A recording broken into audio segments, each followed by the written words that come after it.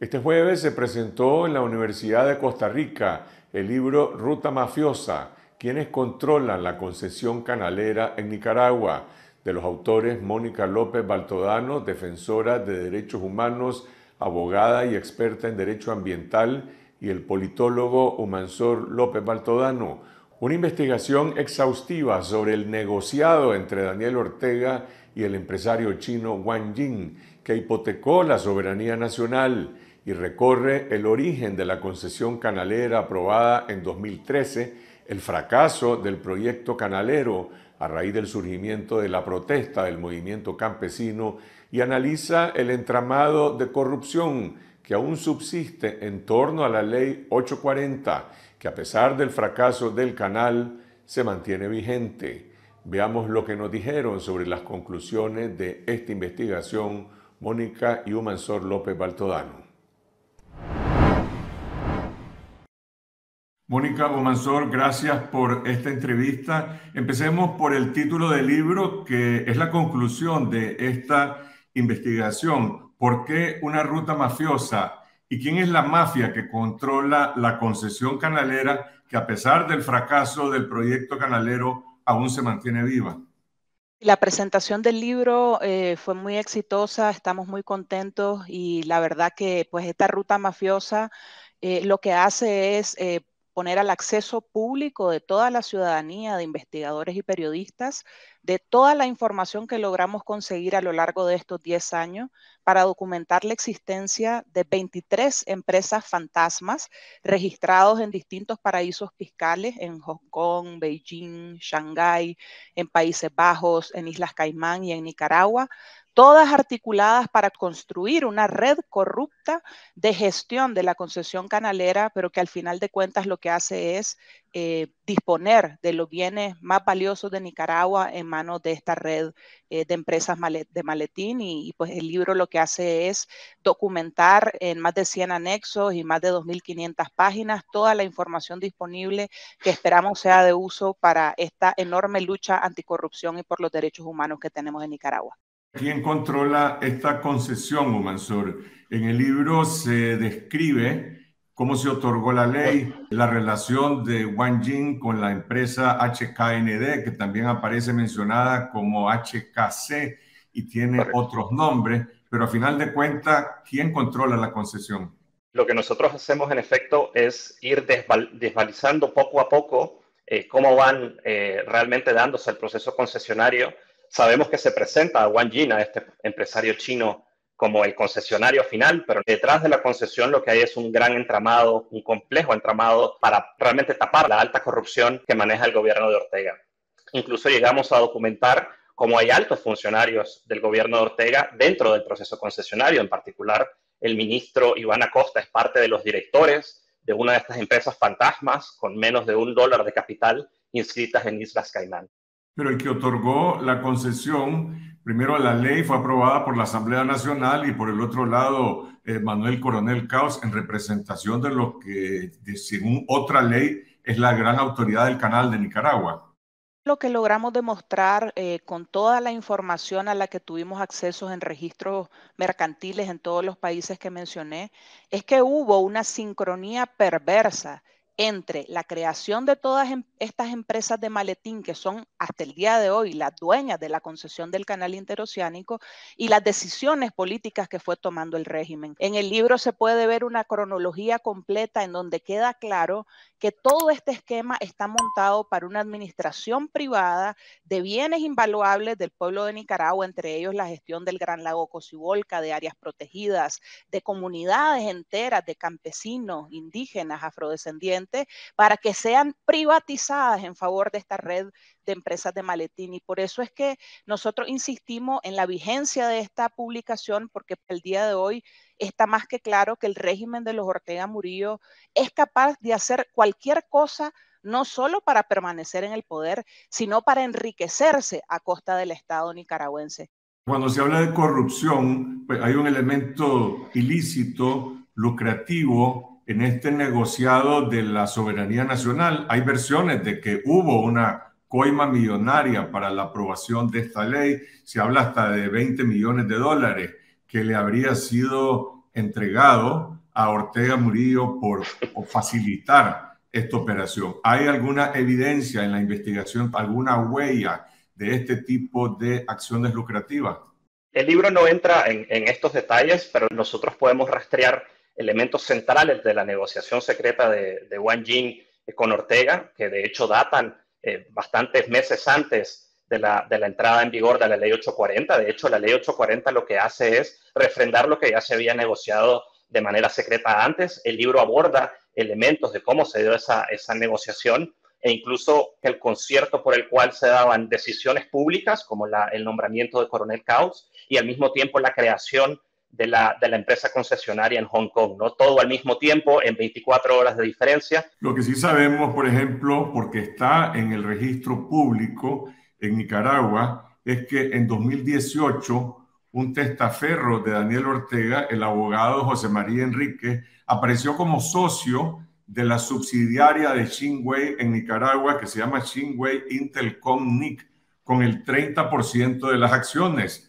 Pero ¿qué pasó con Xinwei? Xinwei es la antecesora de la presencia de Wang Jing y de HKN en Nicaragua efectivamente uno encuentra y, en el libro se señalan las conexiones entre todos los intereses económicos vinculados a Chingwei y todos los intereses económicos vinculados a la concesión canalera. Estamos haciendo, aprovechando la oportunidad para hacer un llamado público a los trabajadores del Estado, a los trabajadores del registro público mercantil de Nicaragua, para que nos provean de forma sigilosa y cuidando su identidad información actualizada de estas sociedades mercantiles, porque sabemos de la existencia por lo menos de tres empresas más registradas en Nicaragua.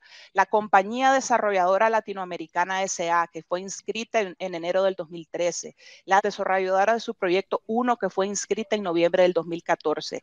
Y otra que se llama Compañía Desarrolladora Chino-Latinoamericana Sky Horizon, que fue registrada y tenemos conocimiento que Chu Changbao es su apoderado desde el año 2018, que aparece ya como con capacidades de ejercer un montón de derechos en el país, no solo vinculados al canal húmedo. La concesión contemplaba un montón de sus proyectos de los cuales deben de estarse beneficiando de manera corrupta en el país.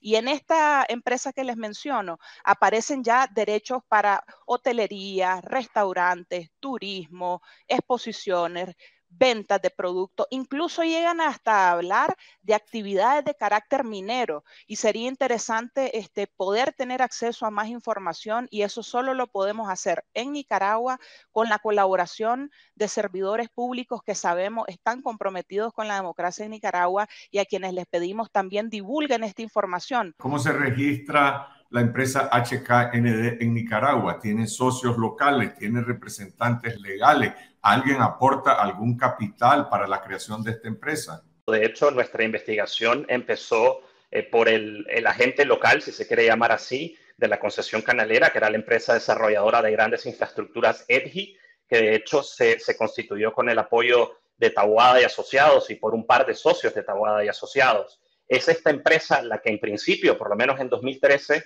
funge como la, subsidiaria local, si se quiere, para que HKND funcione en Nicaragua. Eh, pero Mónica ya mencionaba que en efecto hay otras dos empresas y creemos que pueden haber muchas más que son realmente las que, las que hacen funcionar HKND dentro del país. De hecho, una de las empresas de Xuyan Bao incluso usa el logo de HKND para sus negocios que incluyen desde restaurantes en, el puerto Salvador Allende hasta la exportación de carne hacia China. De hecho, Xuyan Bao mencionó a, a, medios rusos que a través de una empresa de él podría exportarse a China el 100% de la carne nicaragüense precisamente en el contexto de las tensiones comerciales con Estados Unidos. En el libro se describe el registro de estas 23 empresas de maletín que están eh, jurídicamente pues, en Gran Caimán, en Islas Vírgenes, en Hong Kong, Beijing, en los Países Bajos y en Nicaragua. Mónica, el libro dice que vos, vos fuiste físicamente a visitar una de estas empresas eh, en los Países Bajos, en Ámsterdam. Eh, ¿Qué encontraste? Yo tuve la oportunidad de ir a una de las sedes que aparecían registradas de las empresas em, eh, en Holanda. Eh, fue, un, fue un incidente totalmente absurdo porque desde la recepción me indicaron que, que, habían órdenes no solo de que no me podían recibir, sino que me retirara inmediatamente de las instalaciones. Eran las oficinas de una empresa llamada TMF Group que fungía, digamos, como un gestor público, por decirlo así, de, este entramado de empresas de la concesión canalera. Y, lo interesante es que en ese momento me corrieron de las oficinas, no me quisieron dar información y no respondieron ninguna de las solicitudes de acceso a información por ser pública, por, por, implicar, digamos, los intereses públicos del país. Pero varios años después, esa misma empresa se desvinculó del proyecto del canal, como lo hizo también ERM, es decir, empresas grandes que estaban vinculadas a la concesión en el transcurso de la misma eh, y me imagino que por los daños que podía generar en su imagen pública, el nivel de corrupción asociado a la concesión del canal, decidieron retirarse. En el libro se menciona, Omansor, que la empresa HKND se disolvió, dejó de existir en 2019, en la cual participaba, entre otros, el ministro de Hacienda, eh, Iván Acosta. Si desapareció HKND, ¿quién es ahora el depositario o el dueño de la concesión canalera? HKND, esta empresa registrada en Islas Caimán, es la empresa central de la concesión hasta cierto punto. Y una actualización de la investigación que realizamos en 2021 a inicios de 2022 demostró que no solo HKND, sino todas las otras empresas registradas en Islas Caimán están tachadas del registro y han dejado de existir al menos desde el 31 de octubre de 2019.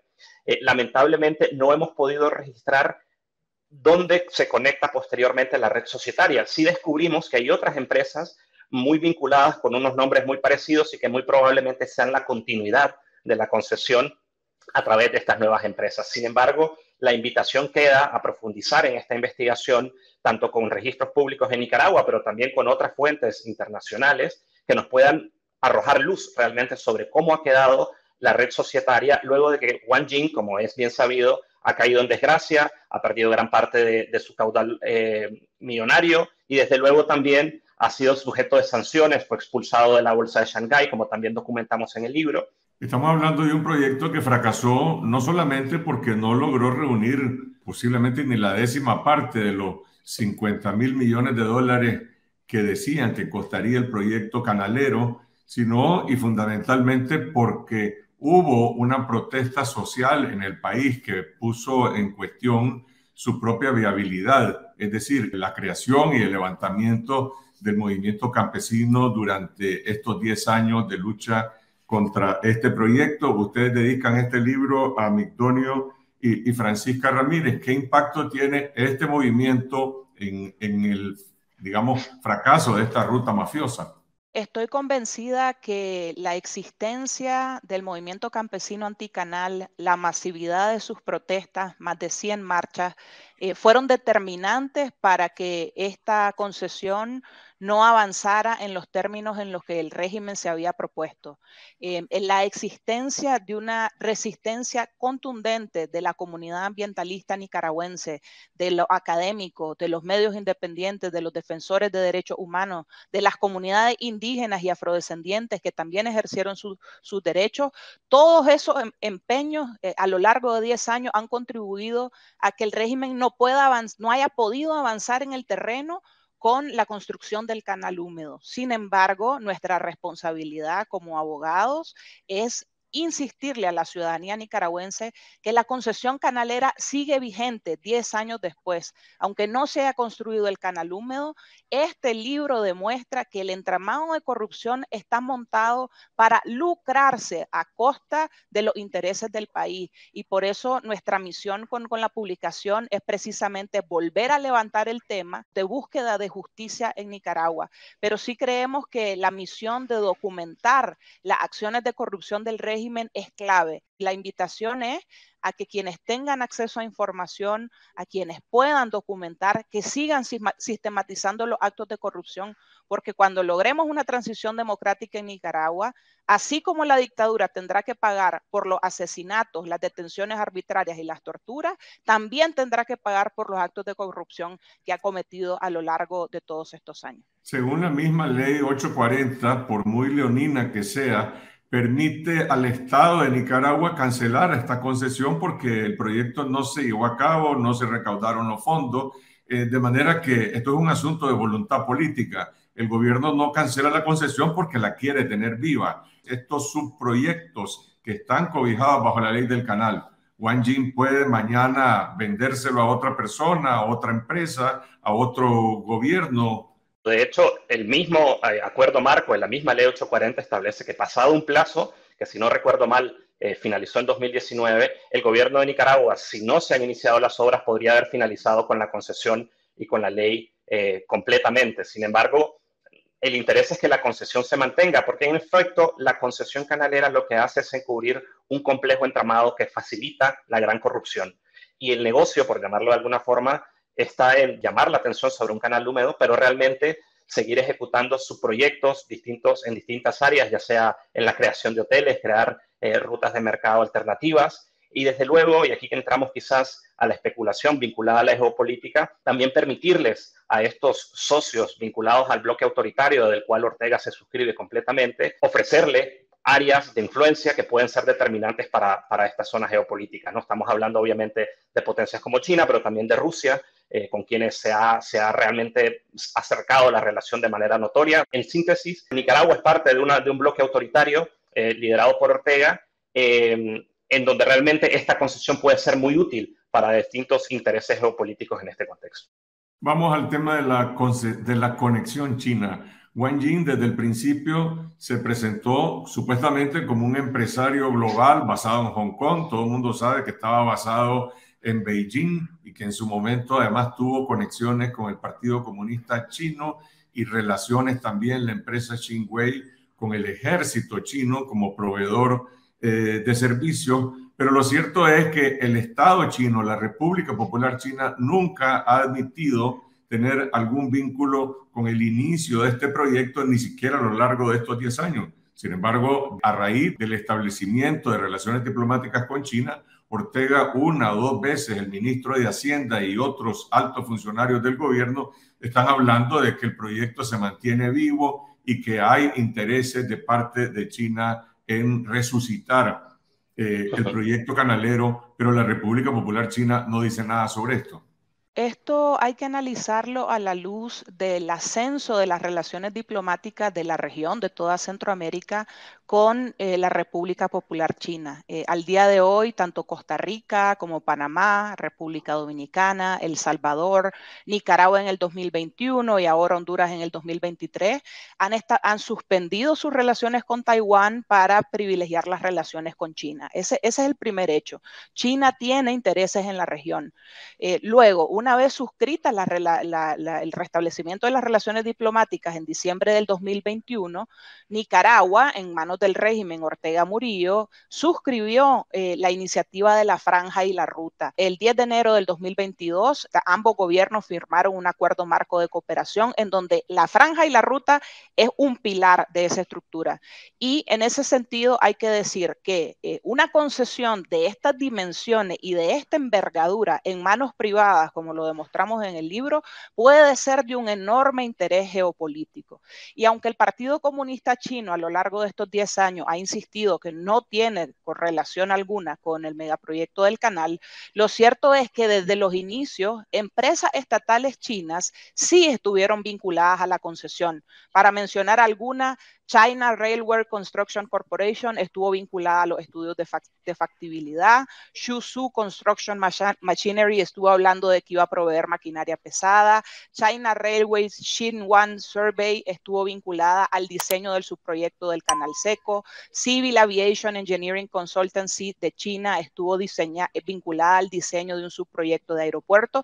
Y así se pueden mencionar más que aparecen en el libro. Es decir, que mientras pretendían que eh, China como Estado no estaba vinculada porque en ese momento Nicaragua tenía relaciones diplomáticas con Taiwán, en la concesión y en su proceso de implementación y de estudios de factibilidad, sí hubieron empresas estatales chinas vinculadas. La gran pregunta es, ahora que Nicaragua y China tienen relaciones diplomáticas y que han suscrito la adhesión a la franja y la ruta como una iniciativa geopolítica estratégica de China, ¿cómo se van a conectar esos intereses con este enorme cheque en blanco que está en manos de esta red de empresas de maletín? En el prólogo de este libro, el doctor Alberto Cortés de la Universidad de Costa Rica dice, no es muy claro y más bien es un poco dudoso si China va, entraría a un proyecto de este tipo en, Centroamérica, en Nicaragua, eh, eh, poniendo en tensión la relación geopolítica eh, con Estados Unidos. Es decir, prácticamente estamos ya en otra liga. Sí, definitivamente. Es cierto que, el interés de China por, Nicaragua y, por el espacio que, la concesión canalera le da eh, puede no ser inmediato, pero tenemos que recordar que, el Partido Comunista Chino trabaja también a mediano y largo plazo.